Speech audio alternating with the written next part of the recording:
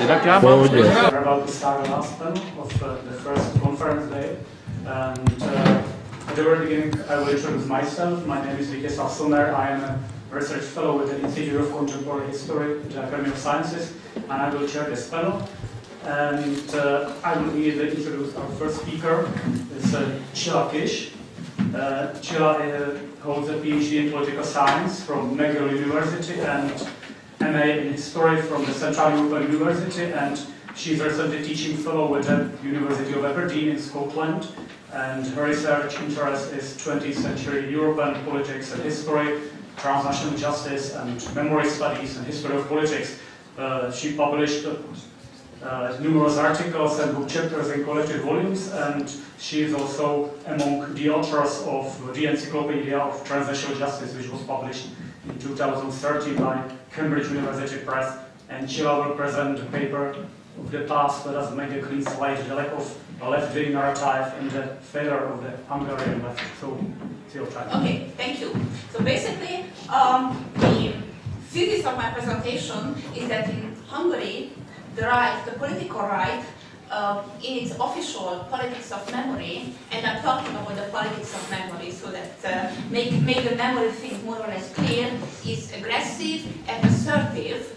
And uh, in the morning, we already saw Stanford presenting the uh, Terror House Museum, for example, during the first Orban government. Uh, these days, they have uh, a big new um, statue at Szabadság tér to commemorate German occupation, which is very interestingly uh, standing next to the Russian Memorial of Liberation in 1945. And uh, they also enshrine in the constitution certain um, arguments against the left, against communism, how guilty it was, how criminal it was, how it's not part of the Hungarian history. And at the same time, the left is very um, left is basically lacking this kind of politics of memory, and on the one hand, we could argue that it's uh, the left left wing left-wing political parties are very apologetic about their past, or at the same time we can claim, or they could claim, people could claim, that uh, maybe the, the left-wing traditions are lacking in Hungarian history. So basically, these are the, the things I would like to talk about and uh, why I said that the right wing is very aggressive and assertive about the politics of memory in, in Hungary, um, the left is very apologetic both about the um, Kádár regime, which we heard about just now, and its uh, political past. Um, first of all, I'd like to clarify that what I'm talking about is uh, political parties, so mainly the Hungarian Socialist Party um, in Hungary, and at the same time some of the new political parties which can be called left-wing political parties like the uh, Conversation for Hungary or the Together, but mainly the Hungarian Socialist Party, I am not really dealing with the so-called civil society organizations, civil society movements. I have a total different uh, argument uh, prepared for why I think that for a representative democracy, uh, political parties are the main actors and not so much civil society organizations, but I will put it, away now. Uh, what we can say about the um, Hungarian Socialist Party mainly is that uh, instead of being a true left-wing party, it became, it steered quite towards the so-called third way, both its political language and its political activities, or what I like saying is uh, taking over what Hannah Arendt in her very good human, the human condition, very good book, uh, talked the rise of the social and through the Hungarian Socialist Party's, Party's policies, we can see this idea of looking at the country as a gigantic uh, household where we have to give possibilities, potential for ownership society. We have to deal with the um, balance of the budget, but there isn't much more. There isn't what Hannah Arendt called the uh, realm of freedom, realm of politics. It's more just always realm of necessity. And what we can see in the Hungarian uh, political life is that if we look at the various political trends um, and their approach to politics and politics of memory, they can see that the right employed a very uh, strong, very assertive nationalist narrative and utilized politics of memory or politics of history to its advantage. The liberals pretty much asserted or attached moral value to the idea of liberal economic politics, to the idea of capitalism, to the idea of individualism. At the same time, the socialists totally lack this kind of politics of memory, politics of history. They, they lack all these kind of uh, uh, convictions. What they do is usually a response to the requirements of economic necessities, and that's how they, they pretty much um, um, operate. And in their language, they also never really addressed the issue of class, and uh, they never really addressed the issue of left-wing traditions. And in the second part of the presentation, I would like to um, say a few things about it. When there was a um, questionnaire to, the, to some uh, historians, political theorists, politicians in the left-wing journal Eszmélet in Hungary, why they think that the left wing in Hungary is doing so badly. Um, one of them, they, they gave many responses. One of the responses was um, the lack of uh, lack of uh, memory, lack of assertion of left-wing traditions, the lack of a left-wing narrative. And um, in a way, um, what we can see that in the Hungarian minds, the left wing, both in Hungary and internationally, is only attached with um, blood, terror, and uh, all kind of terrible things. And I was trying to look at a few uh, possibilities, a few uh, milestones in the history of Hungarian left. And in the end, it didn't start well. It, even at the beginning of the last century, the beginning of the 19th century, uh, 20th century, when the workers' history was pretty much connected to social democracy, and there were all kind of wonderful things, trade unions, common um, self-education, uh, theatrical girls literature. However, the left-wing uh, movement was regarded as a minority. It was atheist, it was not nationalist, I think it's a very important point, and it was not connected to, to the village, to the peasants, so in a way um, it could be argued that they were not con connected to the so-called heart of Hungarianness.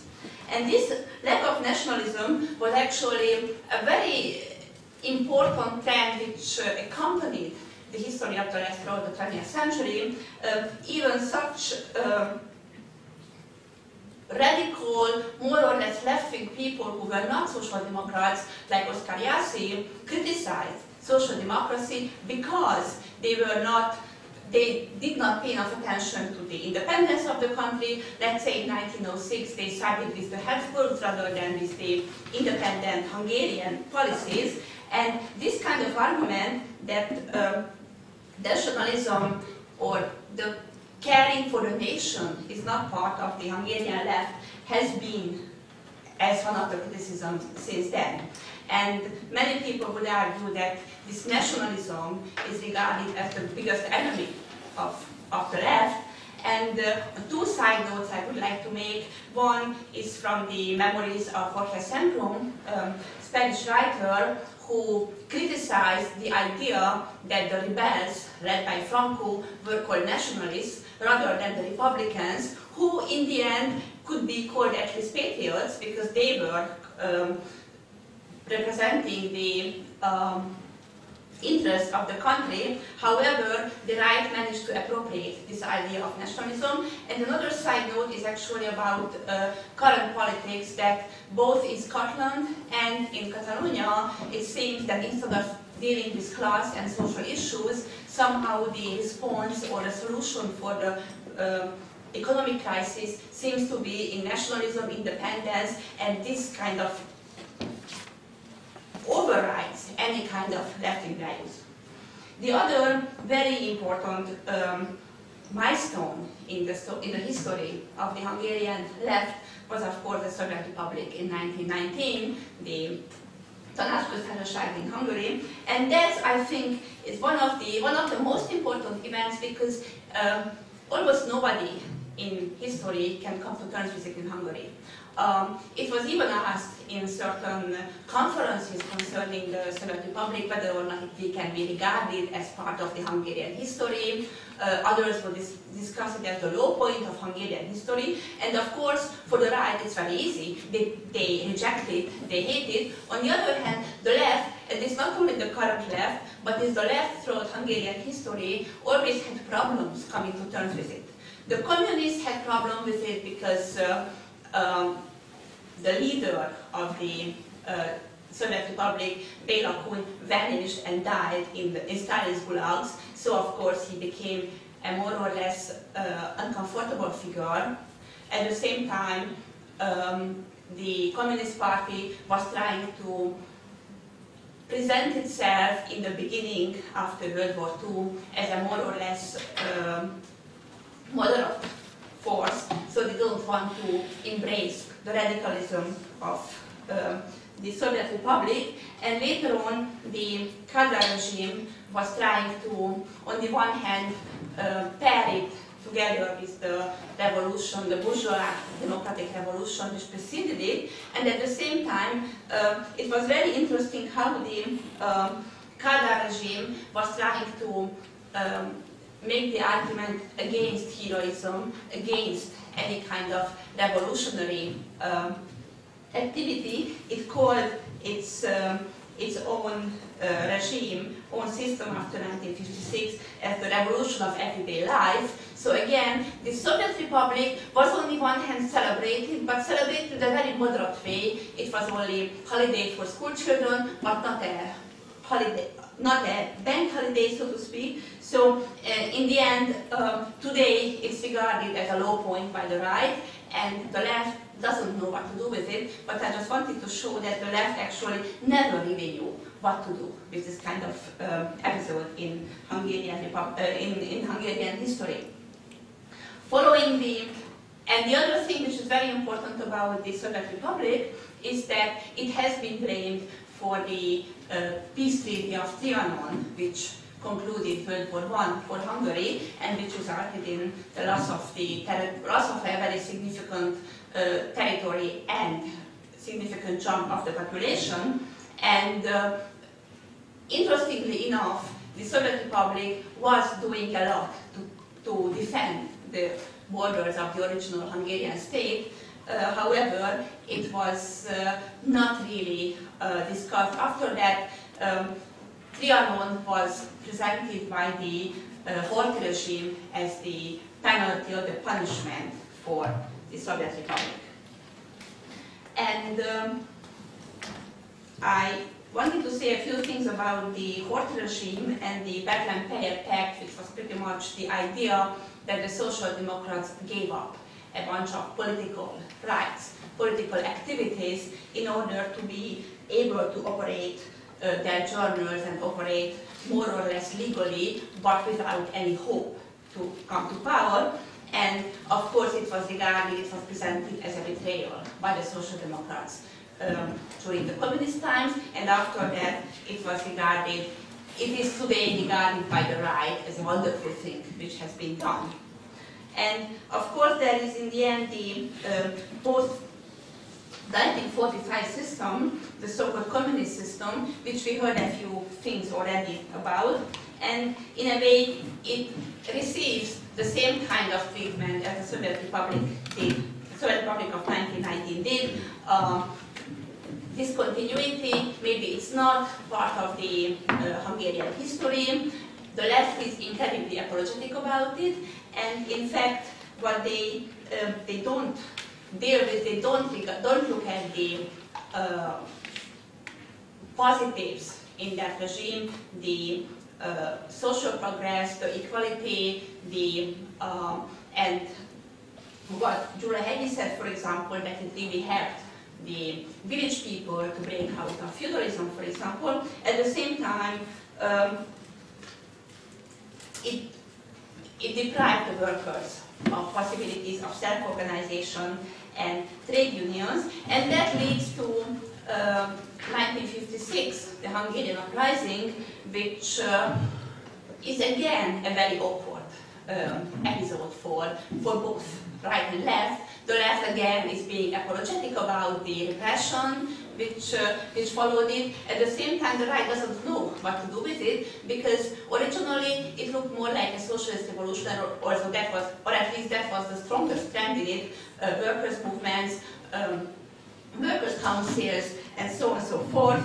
However, today it is regarded as the um, either a more or less uncomfortable um, holiday because today, for this time, for example, in October, neither the Prime Minister nor the President were in Hungary to celebrate it, and at the same time, uh, when it is being celebrated, now it's uh, regarded as the origins of bourgeois democracy, capitalist democracy, which of course is at least, at, at best, part of the historical truth.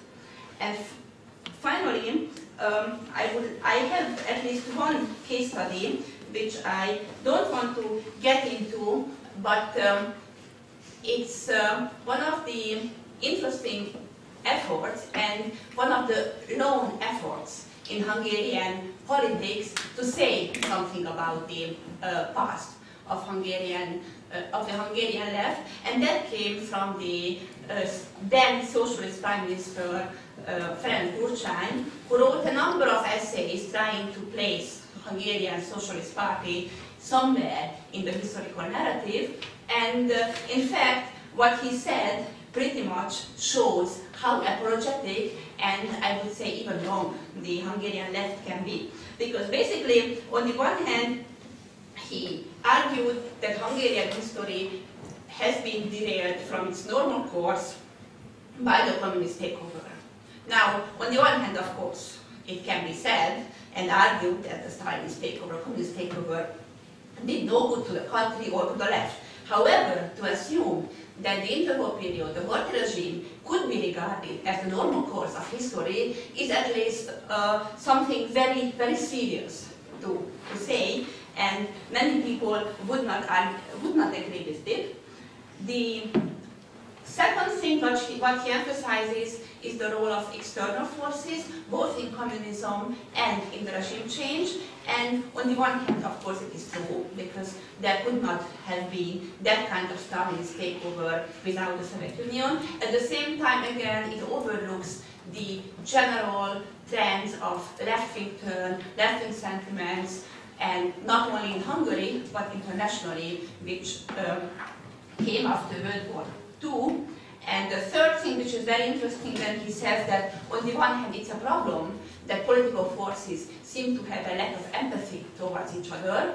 So the left doesn't have any empathy for the right, and the right doesn't really care about the sensibilities of the left. However, the right suffered more, and we should, um, that's good, and we should, we should care about that.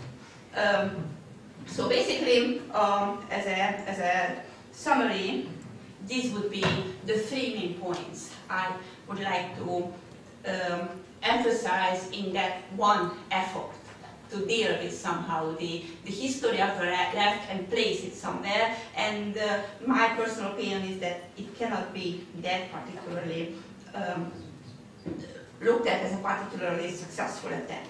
So to conclude, uh, my main argument is that um, the socialists are in their rhetorics and politics are devoid of uh, history and ideology. They don't talk, don't talk about class, and at the same time, what they try to represent or claim to represent is no political peace, pragmatism, expertise, what Miklós Gaspar Tamás says, a safe pair of hands, and they try to reject the so-called divisive, unnecessary ideological conflict, and um, at the same time, they do not really try to present, they, they are apologetic, but they don't want to present an alternative uh, framework for the understanding of history, society, and of current politics. If anything, they try to fit into the, this kind of third way rhetoric of Tony Thank you.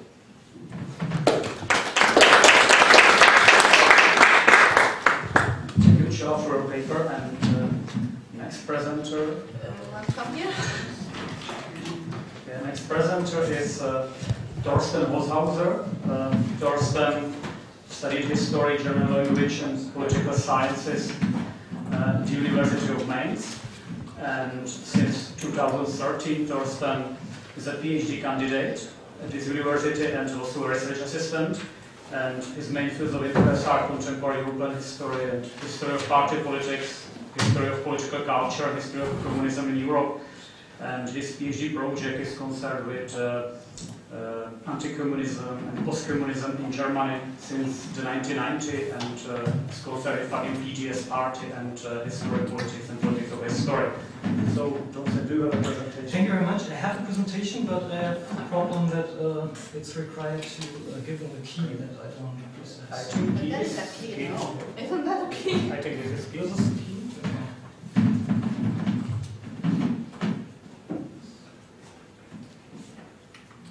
So, I hope it works. Maybe we will need some technical assistance. So here it works, but not uh, but I can already start.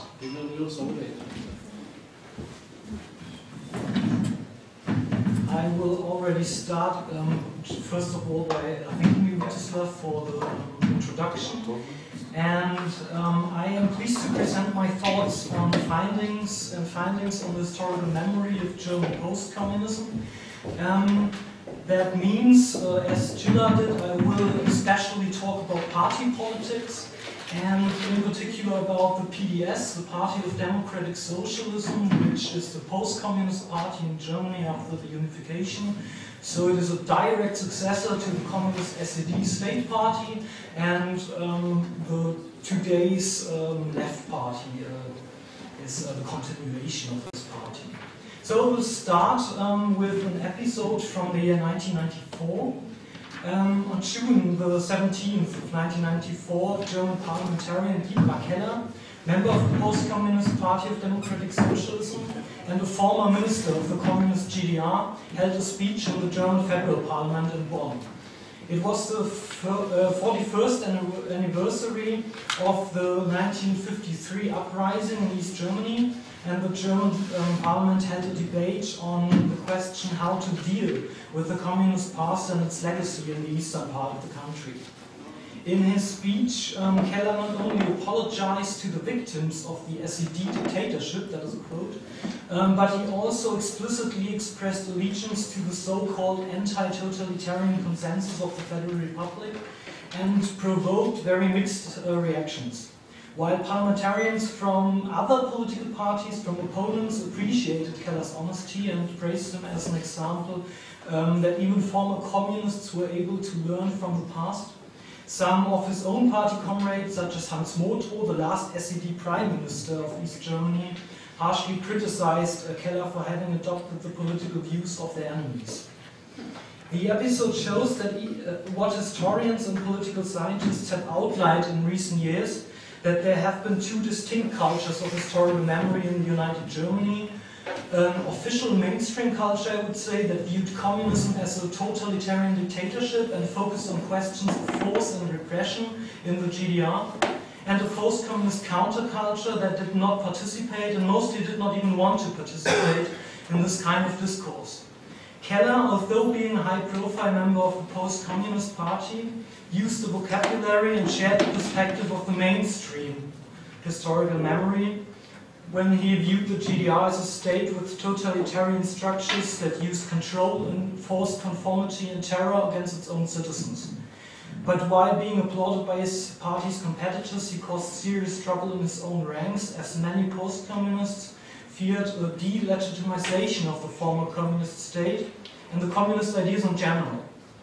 Um, this post-communist attitude was in turn interpreted by many as a sign that they had not learned from their past but stuck to political culture of terror and dictatorship.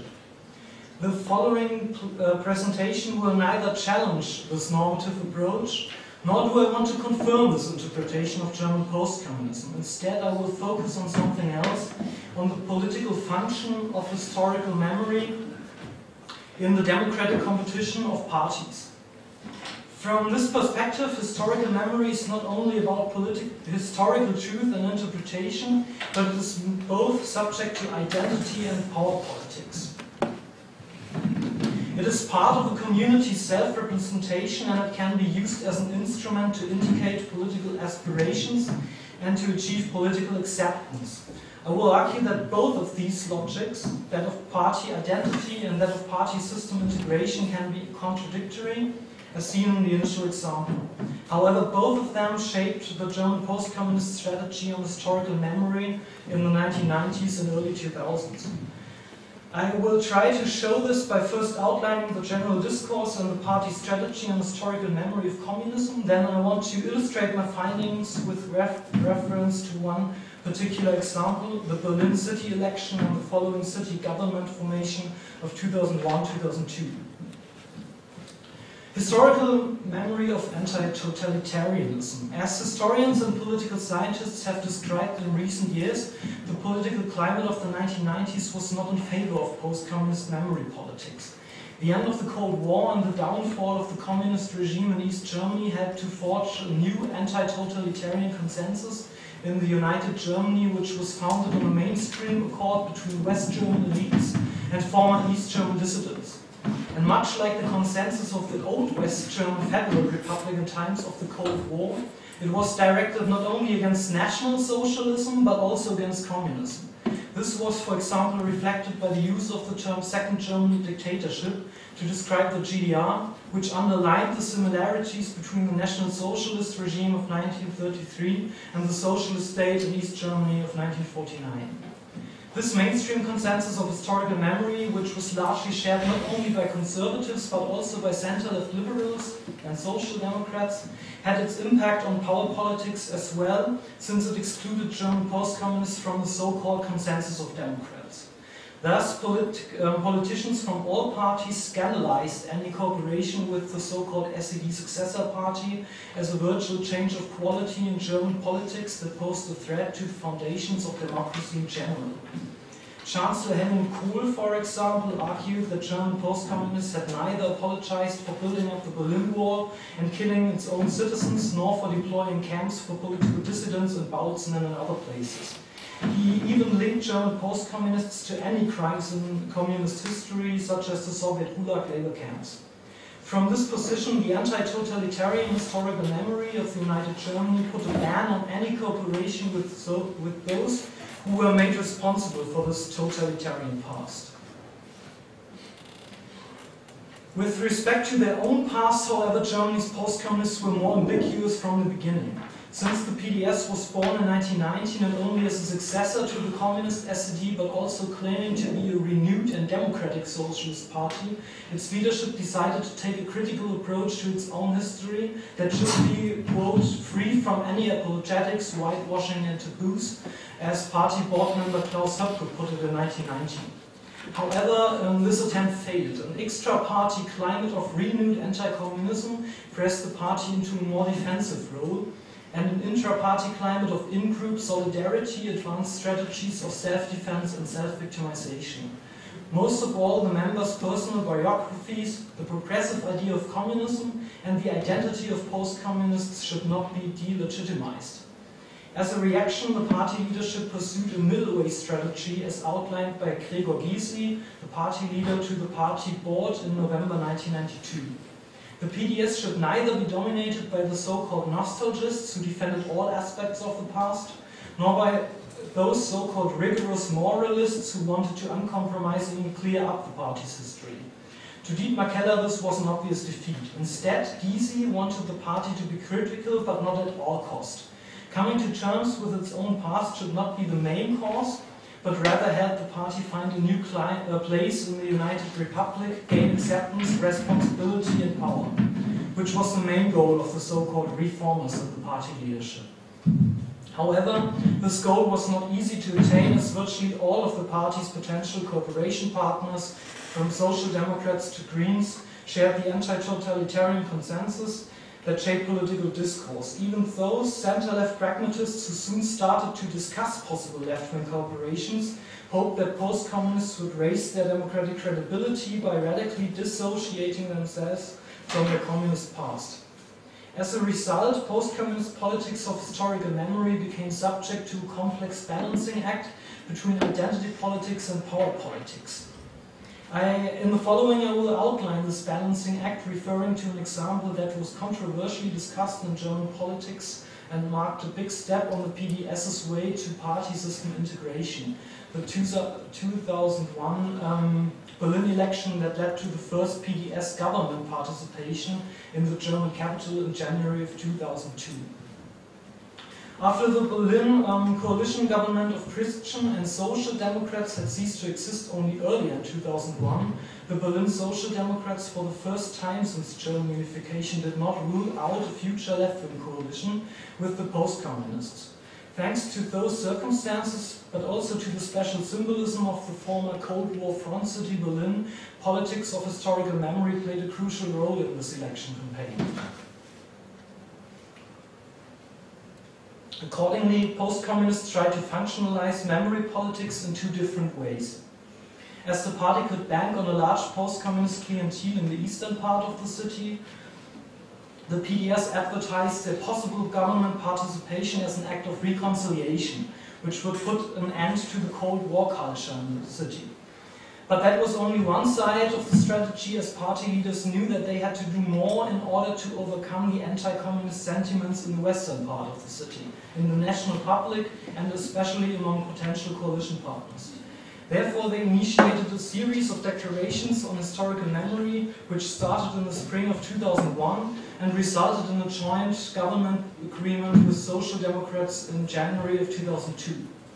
As a first step, the PDS tried to convince Social Democrats of a possible future coalition by referring to the controversial SED party formation in 1946. Since the so-called forced unification or German Zwangsvereinigung of German Social Democrats and German Communist Party after the Second World War was a question of high-profile symbolism on both sides, it was subject to heated discussions. In two declarations in April and May 2001, the PDS conceded that the formation of the SED involved deception, constraints and repression, and that it was worth an apology to the people of the GDR. However, the party hesitated to use the controversial term Zwangsvereinigung as it was not willing to delegitimize its own party's origins by naming it an act of injustice. As a second step, the PDS leadership in August 2001 published a declaration on the construction of the Berlin Wall, another highly sensitive question.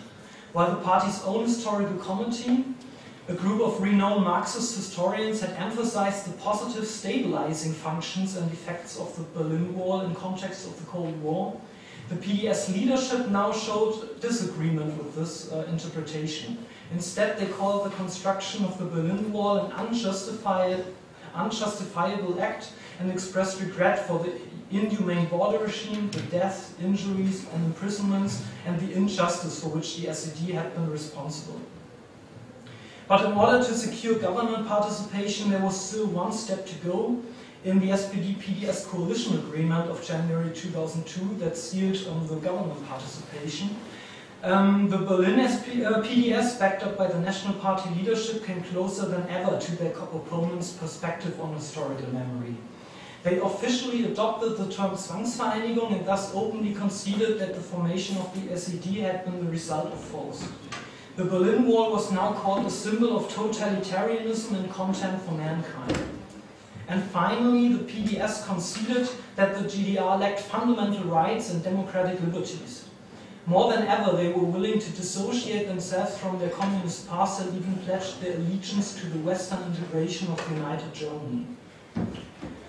But was the strategy successful? In terms of power politics, the party um, was quite successful. On the one hand, the public relations effects of their declarations were predominantly positive, as most German newspapers and even high-profile um, Social Democrats interpreted them as important steps on the way to party system integration. On the other hand, Christian Democrats failed with their mainly anti-communist counter-campaign. Before and after the election day, they had warned that a communist comeback would betray the victims of the SED regime and even bring back killers into the government. But this anti-communist rhetoric was not successful as it was harshly criticized by many commentators as outdated and unfair. Obviously, larger parts of the public were willing to see a normalization of the political discourse and therefore tolerated the post-communists' more ambiguous positions to a certain extent. However, the PDS strategy to rhetorically adopt their opponent's views on historical memory was highly controversial within the party and was um, harshly criticized by the party's own communist faction as being a unilateral recrimination of communism, the GDR, and state socialism. This critique was fundamental, so that most of the party leaders responded in a way that again underlines the strategic functionalization of historical memory. Instead of defending their new cause, their new anti-totalitarian cause as an act of historical learning, they made clear that it had been necessary in order to gain government responsibility and thus downplayed their words of self-criticism as strategically motivated. Obviously, the party's dilemma had not been resolved. In the contrary, the most prominent representative of a new approach to historical memory, Dietmar Keller, even left the party shortly after, showing his disappointment in the party's general development and complained that the party had never broken with communism. In the years that followed, in contrast to the 1990s, politics of historical memory did not dominate the post-communist position in the political system. Instead, the party successfully raised other political questions such as the future of the welfare state and Germany's involvement in military campaigns. Nonetheless, historical memory of communism remains subject to diverging interpretations and heated discussions about the character of the GDR as a so-called state of injustice or of unlawfulness and the legitimacy of um, communism as a political ideal in general. Obviously, Germany has not reached a consensus on historical memory which would have involved post-communists. This leads me to a short conclusion of, um, to my presentation. As I tried to show in the 1990s and early 2000s, the German Post-Communist Party faced a strategic dilemma between a logic of party identity and a logic of party system integration. In order to handle this dilemma, the party pursued a strategy of functionalization. By rhetorically adopting certain elements of the mainstream discourse on historical memory, the Post-Communist Party managed to overcome its isolation without forming a new intra-party consensus. How this was possible is still subject to further inquiries in the political culture of the United Germany. However, it seems that over the years, question of historical memory just lost their dom dominant position in the public discourse and that fronts had been softened. Instead, arguments of power politics and of realpolitik had became, become more important. Thus, the PDS ambiguous attitudes towards question of historical memory were more and more tolerated by opponents and journalists as long as the party showed willing to integrate into the democratic party system of the United Germany. However, as a result of this development, historical memory of communism has remained an unresolved question in Germany's political discourse up to our times. Or as Dietmar Keller says, even if time heals all wounds, they can reopen any time. Thank you for your attention.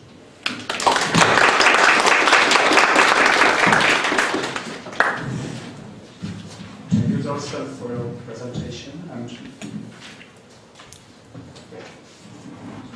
now it's the last presentation of first day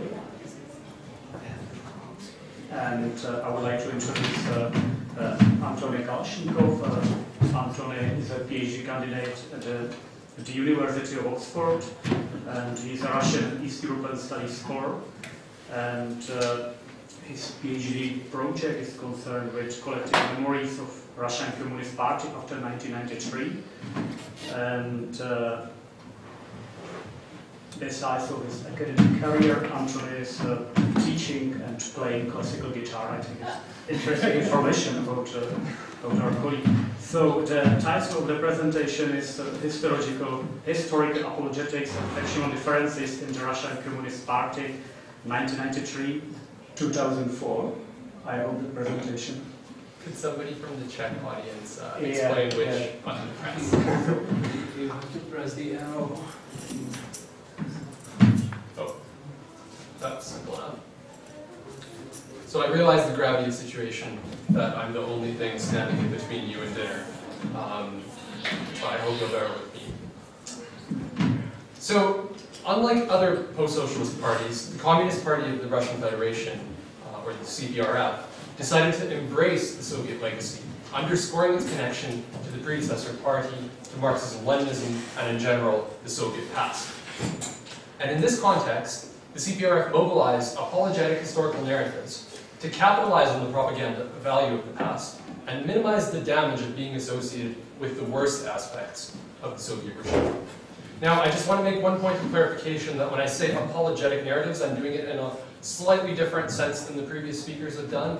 Uh, I mean apologetic not in the sense of making apologies, although the party does do that in, in certain cases, but in the sense of accounting for and explaining the historical past. So, sort of in the similar sense as you would hear Christian apologetics um, being used. So, um, previous literature has largely ignored the party's historical narrative, or has carelessly reduced these to the specific rhetoric of the party's first secretary, Denis Zyuganov. And in this presentation, I will argue that apologetic historical narratives differed significantly between three factions the Orthodox Marxist Leninist branch, the Social Democrats, and the Nationalists. While addressing the party's gamble on the Soviet past, apologetic narratives were also used as vehicles to promote each specific faction's ideology and platform. Now, the decision to frame the CPRF as successor to the old Soviet Communist Party and as the champion of the Soviet order stemmed from several strategic rationales. On the one hand, the party could take advantage of nostalgia, uh, which was growing in the 1990s amid the um, social and economic chaos of restructuring. Um, it could capitalize on myths and discourses that had already been built up under the Soviet regime, such as Russian nationalism, class discourse. Um, thirdly, it could retain support from a base of loyal voters, particularly among the older demographics. And fourthly, um, it could take up the cause of the wronged CPSU and indeed the entire Soviet order, and that gave the CPRF a valuable resource for criticizing the ruling regime, whose current power had much to do with its behavior during collapse. Nonetheless, as much as being heir to the CPSU was a strategic advantage, it also carried a lot of problems and risks. Firstly, it passed on the burden of explaining what went wrong during the last years of the Soviet Union. After all, traditional Marxist-Leninist discourse had promised the triumph of communism. And in the wake of a restored capitalism, this claim seemed increasingly dubious. Secondly, embracing the Soviet legacy also carried the risk that the CPRF would be identified with Soviet crimes and hardships, not the achievements of communism. And thirdly, in tying itself to the Soviet legacy, it also meant that any revisions away from the Soviet experience that the party wished to make would be harder to make because they would be um, charged with abandoning communist identity, as uh, Thorsten pointed out in, in his previous talk. Um, so, what I'm going to show is how, in this context of advantages and drawbacks, the party mobilized apologetic historical narratives to capitalize on the strategic advantages of the Soviet legacy and to minimize the aforementioned drawbacks. And only a limited number of studies, as I said, have alluded to the CPRF's historical narratives. And when they do, they normally just tend to focus on, on the views of the first secretary, Gennady Zyuganov, and everything else kind of falls away. I think that's very problematic. Um, so what I've done is I've carried out a discourse analysis of uh, speeches, um, newspaper articles, publications of CPRF leaders uh, in the period 1993-2004, and you can ask me about my methodology later on. Um, and what I found was that historical narratives differed very significantly between the Orthodox Marxist-Leninist, Social Democrat, and Nationalist factions. And what I'm going to show is that these narratives, firstly, defended the party's gamble on the past, but secondly, they also promoted a factional ideology and platform.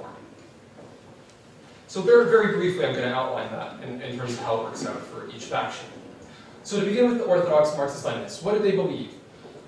Well, basically, Orthodox Marxist-Leninist discourse operated within the traditional Marxist-Leninist methodological and normative framework. They believed in the superiority of the so- Soviet socialist system and advocated for its restoration in a basically unmodified form. Finally, given the fundamental incompatibility of the Orthodox goal with those of the ruling regime, the faction lobbied for an unequivocally confrontational stance towards the government in both parliamentary and street politics. How did they account for the fall of socialism? Well, Orthodox Marxist-Leninists held that there were no objective reasons for collapse, but rather it was the subjective actions of a very narrow leadership which resulted in the step back to capitalism. To square this with class theory, Orthodox Marxist-Leninists purported that the Soviet leadership's actions over the years had created a hostile, quasi-bourgeois social base and then presented it with the opportunity to take power in a capitalist bureaucratic counter-revolution. This affirmed the agency of classes, but still made the topmost CPSU leadership responsible in the last instance.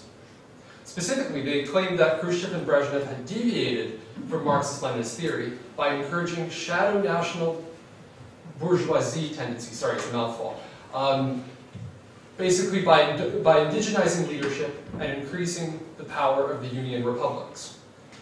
Gorbachev's creation of cooperatives led to economic chaos and the strengthening of capitalist tendencies, while defederalizing further strengthened national elites. In their pursuit of personal power and wealth, some leaders could gain from Soviet collapse. So what happened was that nationalist pro-bourgeois politicians infiltrated the CPSU and manipulated secessionist movements for their capitalist gain, engineering the Karabakh, the Georgian and the Baltic crises, and ultimately provoking the August coup. Often their ambitions bordered on treasonous collusion with the imperialist West, which had always tried to depose its socialist competitor. And the narrative of the fall of socialism carried several purposes. Firstly, it demonstrated the disastrous consequences of disregarding Marxist-Leninist theory. Secondly, it purported that there were no systemic reasons for collapse. The Soviet model was perfectly functional and could be restored at any point. Thirdly, it framed the Soviet system as the legitimate form of government and condemned the transition, uh, the, well, the collapse, the, the transition to the Russian Federation, as an illegal move. So in a way, it urged people to put things right, put things back in their legitimate place. Fourthly, the discourse linked uh, the current reg regime to the forces which destroyed the Soviet Union, fueling a hostile anti-government stance. In dealing with the hardships of late socialism, Orthodox Marxist-Leninists pretty much held as a matter of faith that all Soviet realities, even under late socialism, were incomparably better. Aside from cherry-picking fairly dubious statistics, Orthodox discourse primarily utilized abstract categories of comparison, skirting around the actual lived realities of late socialism. So for instance, they'll take measures of GDP and compare that instead of looking at concrete consumer goods provisioning. Painting an idyllic picture of the Soviet past, they affirm the desirability of restoring the, the Soviet model.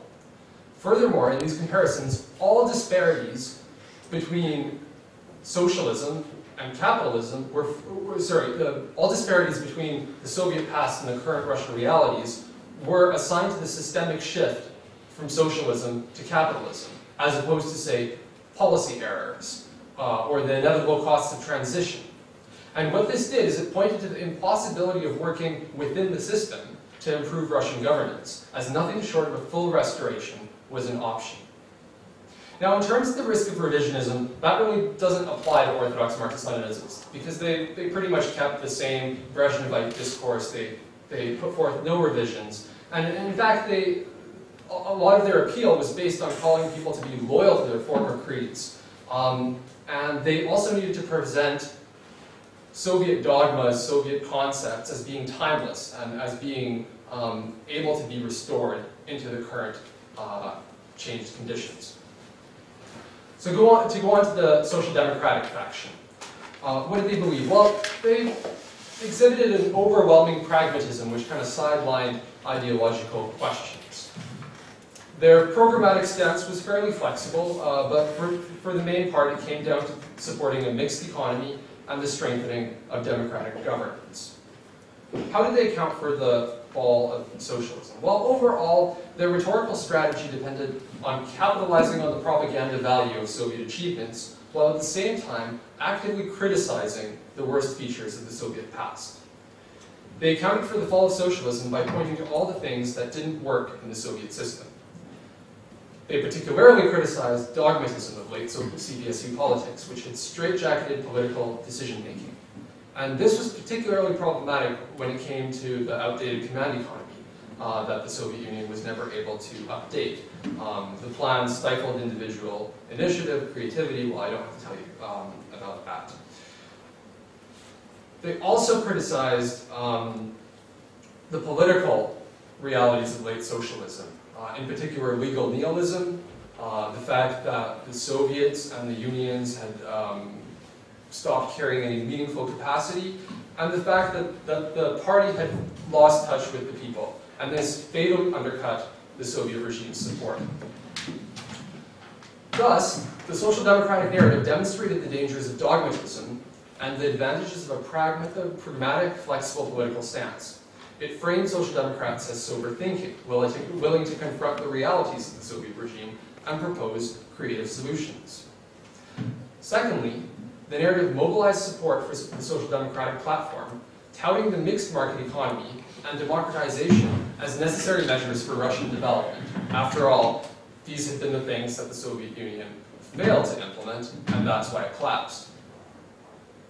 In terms of the hardships of late socialism, uh, their rhetorical strategy was, was fairly similar. Um, they confronted a lot of the hardships head on. So they actually even went so far as to demand that the CPRF not be identified with the Soviet regime, but be judged on its current program and its actions. And in the case of electoral victory, they promised that there would, and I quote here uh, from, from prominent leader of the faction, that there would be no fixed pricing shortages, empty shelves, no queues, ration tickets and cards, no confiscation and nationalization of private property. As communists, they accepted responsibility for the past inadequacies and promised a fresh approach. Nonetheless, the Social Democrats didn't completely cut themselves off from the Soviet past. They pointed to some advantages of the Soviet model and promised to retain them, specifically regulation, social support, um, long-term investment. But more importantly, Social Democrats promised to keep the values that had been held high under late socialism, collectivism, brotherly help, social security for workers, and a commitment to democracy and internationalist ideals. Thus, social democrats used narratives of late socialism to strengthen the normative basis for the market economy and, de and democratization by both rejecting certain features of the Soviet past and appealing to others. Now, in doing all this, social democrats were really opening themselves up to the risk of being labeled revisionists. And here, they actually made a very astute move. They appealed to the concept of creative Marxism. And this was, of course, a Soviet slogan, and it provided an exit strategy for them. Uh, so they're not revisionists, they're just creative Marxists. To move on to the final faction, the nationalists. Um, and, and, this is the faction that is typically associated uh, with, with the party leader in the strongest faction. Their core beliefs um, came down to the substitution of Marxism-Leninism by a so-called Russian idea, which posited national traditions, not class, as the basis for political normativity. Nationalists favored statism, opposition to the West, a mixed economy, and a collaborative stance towards the regime and other political forces.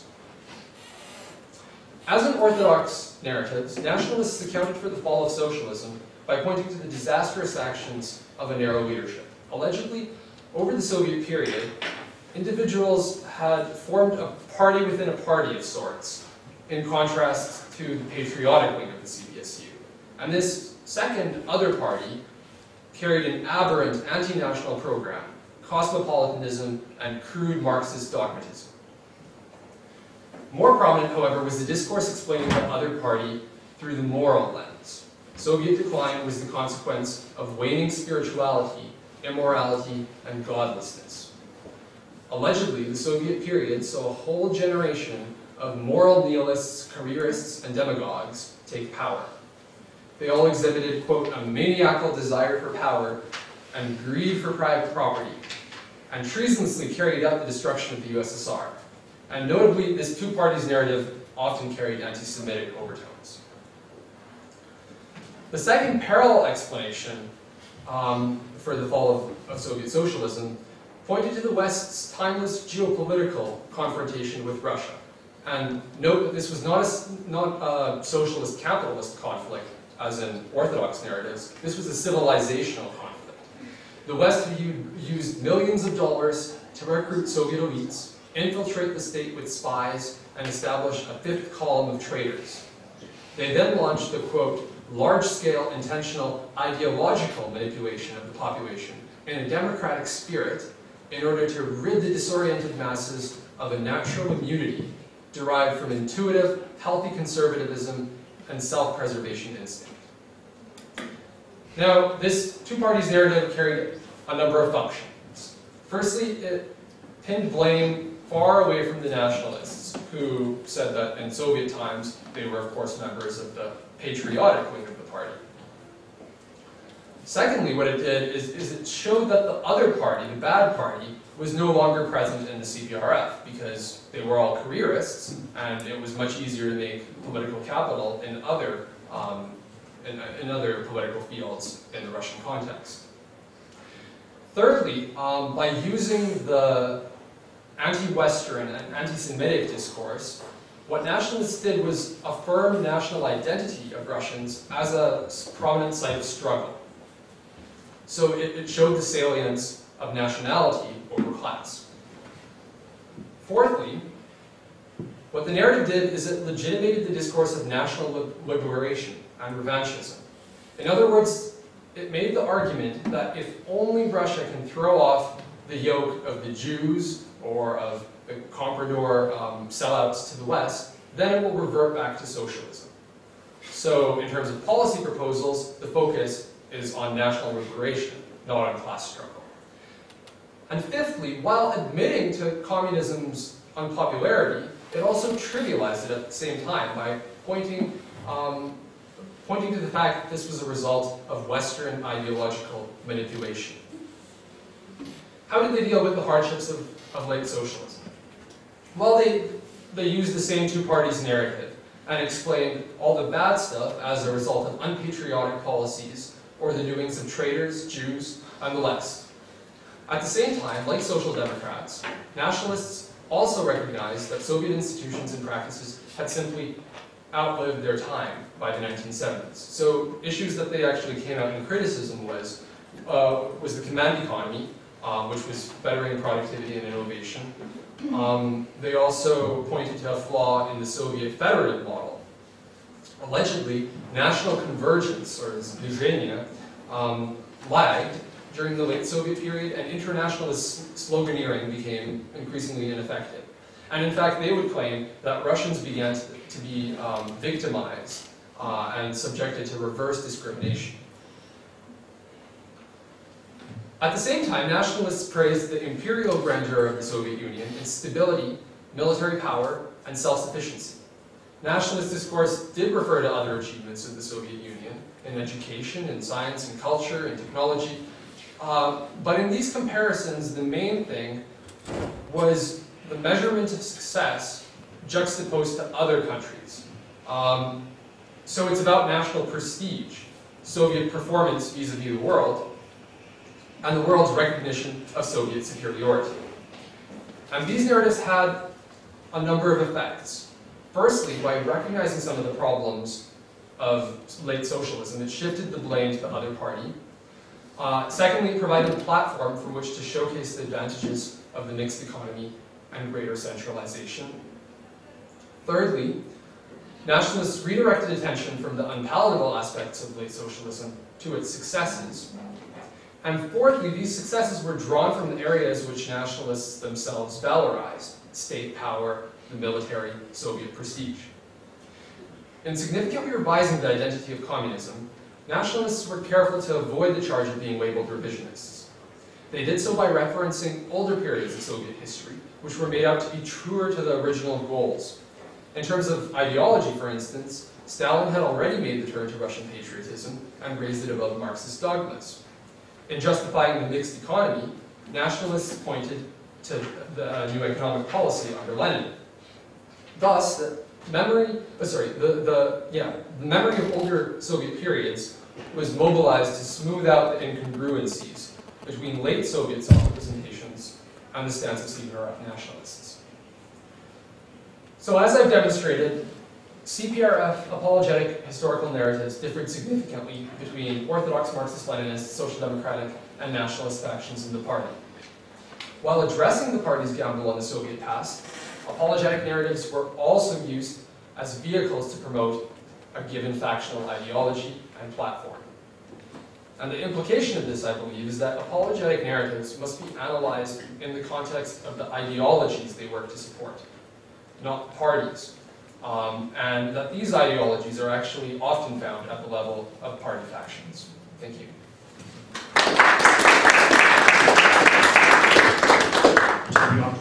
Paper. And uh, I think there were three presentations which were tightly interconnected, at least thematically, and uh, because uh, this panel was the embodiment of, of order and discipline, we still have plenty of time for discussion, so the stage is yours.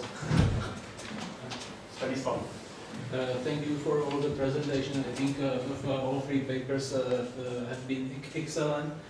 Uh, I think uh, um, actually uh, your whole presentation showed uh, uh, this, which I would call a divergence of uh, identities of political parties uh, from late socialism until now, because in late socialism, more or less, the ideologies were the same. Like Hungarian communists were a bit more pro-reform, uh, Soviet and East German uh, a bit a bit more anti-reform, and so and so on. But nowadays, it seems to me like there are three completely different worlds. Yes. Um, and uh, like for, I was thinking for comparative anal- analysis, like uh, where, where to focus. Yeah? You, um, uh, Antony, focus on internal fractions. Uh, Thorsten focused on like some case study like Berlin uh, uh, election campaign 2001. Uh, I was thinking maybe uh, about some very close analysis of very detailed historical event or personalities, for example, Stalin, yeah, or for example, let's say, role of Red Army. Yeah, so something like transnational phenomena which would uh, make us able like to, to communicate uh, with more comparative uh, comparative way which I found plausible. So maybe this is this is the this is the comment, but uh, I would be interested. So where, where you uh, see like uh, open space for your further research in this field, if you hear presentation of your colleagues and you are in- inspired by them. Would you like to react? That's very interesting um, um, proposal, and I think uh, you, should do that. You should do that. Um, what I thought when I heard Antony's uh, presentation, I, I, I tried to um, compare that to to the German um, post-communist party, and I think um, for the four, first two of your groups, for Marxist-Leninists and for Social Democrats, um, it's mostly the same in the German uh, post-communist party, while I would say that Marxist-Leninists were not as dominant as uh, the Social Democrat faction in the um, PDS. And you should say that the Social Democrat faction in the PDS, if you use Antony's terminology, is something else to the Social Democratic Party, which also exists in Germany. But um, for the third uh, example, a nationalist group, um, there is no real uh, nationalist group in, in German post-communism, um, but there is another group which was very influenced, uh, had much influence in the 1990s, and that is a regionalist faction that um, uh, set um, the most interesting, uh, the most um, um, uh, the identity part of the party is uh, its East German regionalism. And um, but that went completely different. It was not very. It was not anti-Semitic. In, in general, it was. Uh, it in, in um, terms of economic policy. Parts of it were were even uh, neoliberal, and they said we have to um, we have to focus on regionalism, and everything else is nothing. Uh, we have to do um, with with Marx or something like that. Um, so there's a third faction which differs, and I think that would be interesting to compare those um, those um, case studies. Just, just to say that thank you because uh, this is something I, I started doing now. I mean, basically what I was doing is transitional justice and its use for politics of memory. So of course this is where I'm coming from. But it's a, it's a very good suggestion to see where uh, to look at other so-called left-wing or post-communist countries and see which are the major um, topics where they can where they can be, be compared. So it's a good way of going down. Um, thank you, and I think that in terms of, of, of what you suggested, um, you're an excellent example of, of, of doing that. I mean, bringing us all together from different fields of, of, of memory studies in, um, in different Central and East European nations is exactly that. It's establishing that type of dialogue uh, in a field which, at least in my experience, I found that has been very, very nationally fractured. Um, at most, scholars will allude to you know a few cases from, from another country, but not in any systematic sort of way. There's no actual um, transnational comparisons that have been done, to my knowledge. I believe that there's a few quantitative um, sort of survey data-based studies on nostalgia, um, which have been going across borders. Uh, but aside from that, and, and, in sort of a theoretical perspective, I, I don't I don't think there has. So anyways, I think this is a great start. There are three other questions. We start you. First one. Yeah. Me? Yeah. Okay, thank you. First of all, thank you for your presentations, and my two questions go to Antony because he refers to modern Russia uh, experience and state of play. You said that this justifying Soviet past or probably uh, using the Soviet past as a political strategy is something very specific for Communist Party. But uh, if we look at the state of events right now, I would say that this is a dominant discourse in, in Russia to justify and to somehow he- heroicize uh, the Soviet past. So would you say that this is the failed attempt of the Communist Party to privatize the Soviet past, or is it uh, the, the victory of the communist discourse? Or, maybe you have some other uh, variant of conceptualizing what is actually going on. And the second question is you said about uh, the fact that uh, these three factions inside the party were trying to conceptualize somehow the hardships of the late socialism. But in what way do they explain the hardshi- hardships of the early socialism, like Stalin repressions, the, the uh, disastrous beginning of the uh, Great Patriotic War, or the uh, Civil War, or whatever horrible hardships were experienced by the Soviet people because they were much more hard hardships than the one that happened uh, in the late socialist uh, time period. Right. Thank you for your questions. Um, I, I think that the, the first question that you asked um, is, is a, like a whole research project in itself. Um, and, and it seems to be a very intellectually stimulating question, but one that I, I don't really, I haven't done a lot of thinking uh, into. Um, I hope I haven't given the impression that the so- Soviet past is only used by the Communist Party.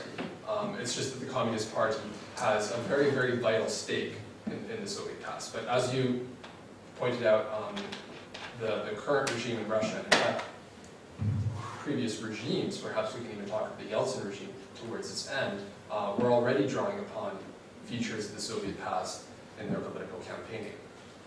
So what went, what went on? Um, how, how, how did, how did the memory of the Soviet Union suddenly become this hyper-politicized issue? Well, I think, I think in the Russian Communist Party, it happened fairly early.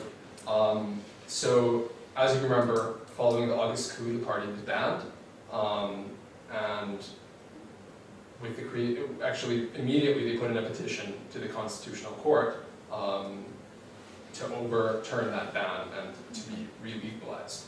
Um, and the Constitutional Court itself was preserved. They kept working on the problem up until '93 when they gave the verdict. They said that the Communist Party was now legal, and so Communist Party held this reformational Congress and decided crucial issues of identity, and that's where it decided to hold on to the Soviet past. What was the regime doing at that time? Well, the Yeltsin regime,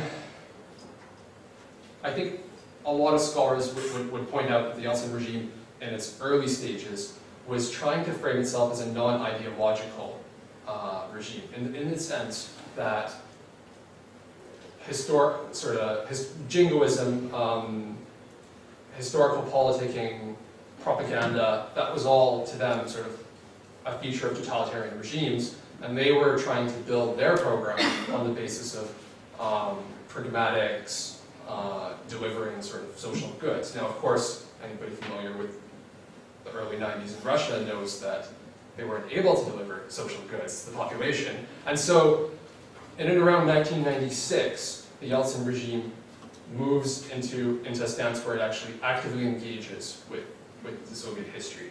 Uh, I'm sorry if I'm taking too long.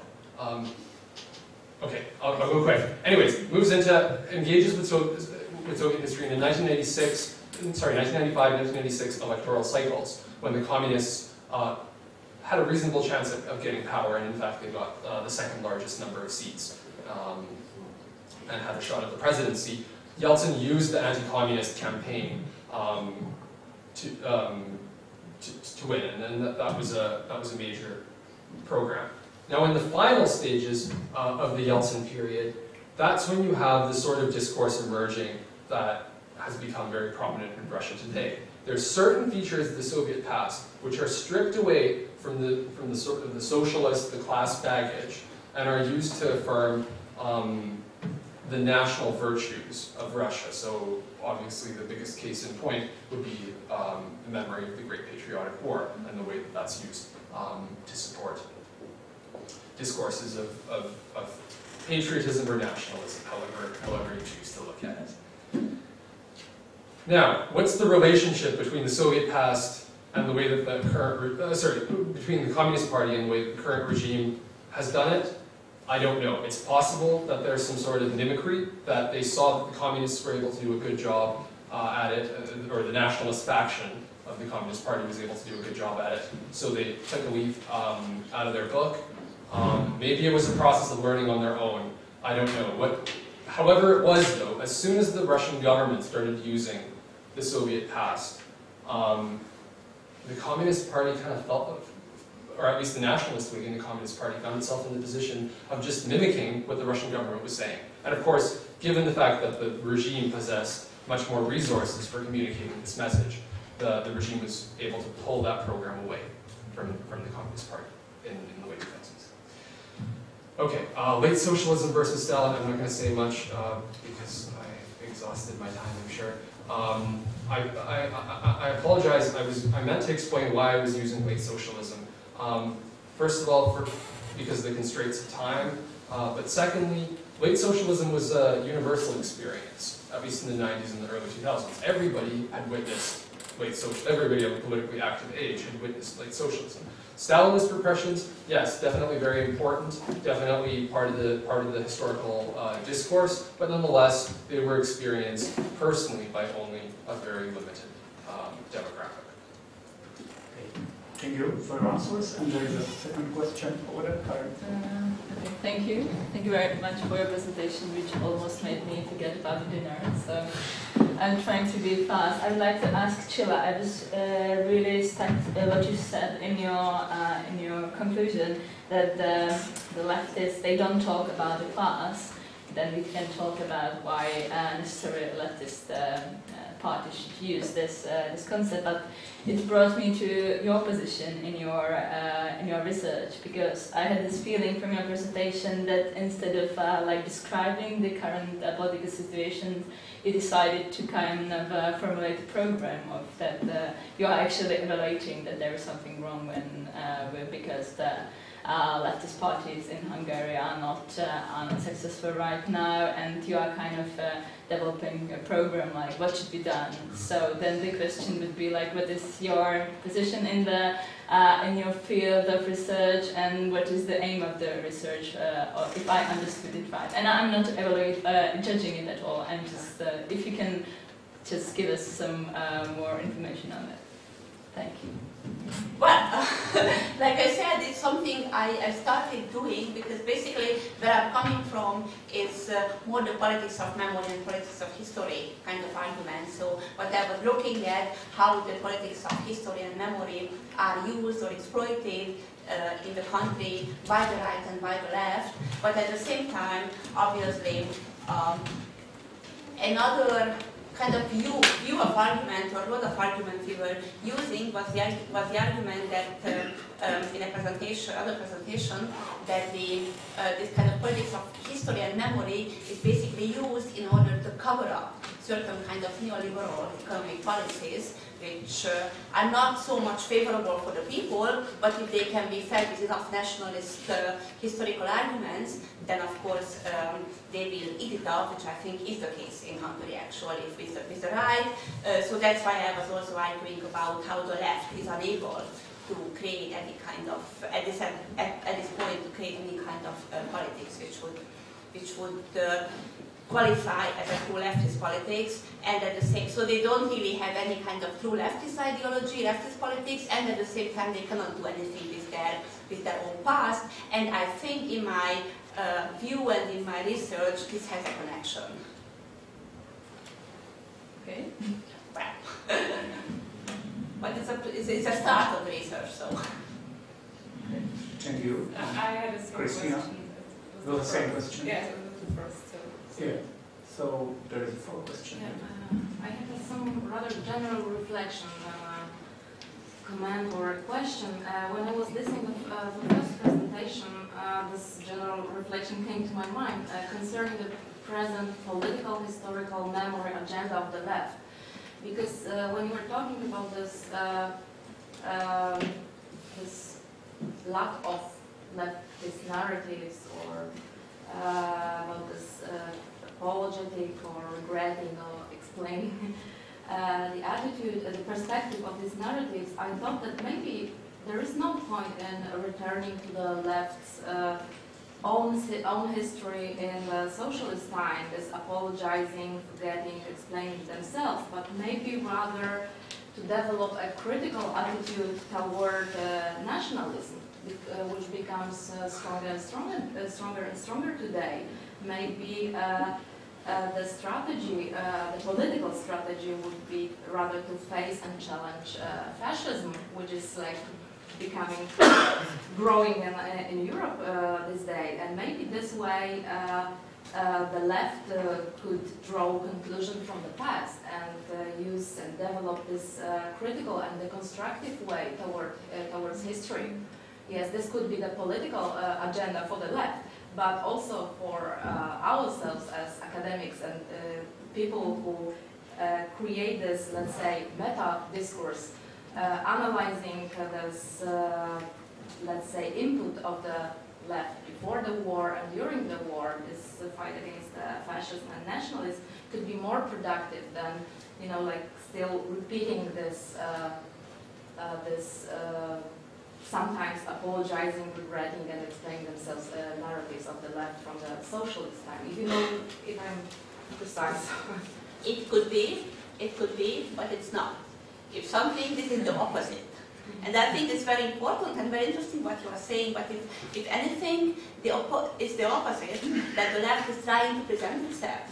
As there are at least some members of the, of the Socialist Party who come out and say that, oh, we are also national, not nationalists, but like uh, nation regarding and we care about the nation.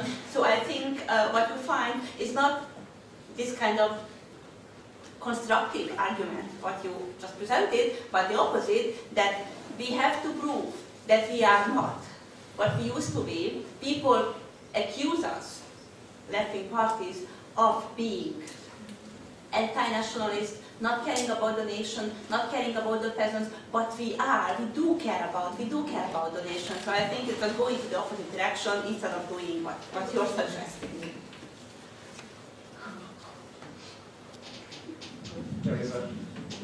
Yeah.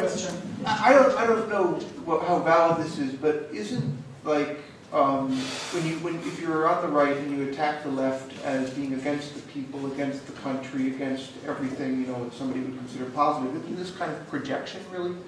Because the whole point of right-wing ideology is strip all the public services, send everybody to war, kill all the racial minorities. I mean, like, you know, if you're talking about the extreme right anyway, who are accusing like bourgeois liberals of being communists, I mean, this is, I mean, isn't this like um, a way of distracting from their own faults in, in saying that everybody else hates the nation, everybody else hates the people, you know? I don't know. Because it seems like, it, especially like in, I don't know especially where, but you often see leftists on the defensive trying to defend themselves